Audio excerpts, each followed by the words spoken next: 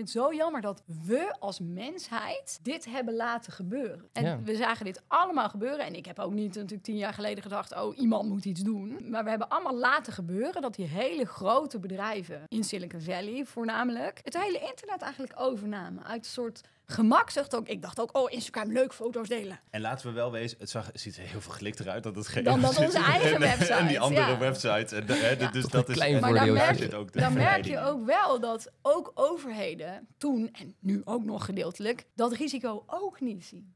Dat die ook niet denken, ja, maar het is heel slecht als onze jeugd alleen maar op die apps zit, zonder dat daar controle is. Waar gaan die foto's naartoe? Van wie is dat? En nu zie je een beetje hè, met GDPR en met de nieuwe AI-act van de EU en nog een wet ook over het verslavende effect van eh, sociale media. Heel langzaam begint dat besef een beetje te komen.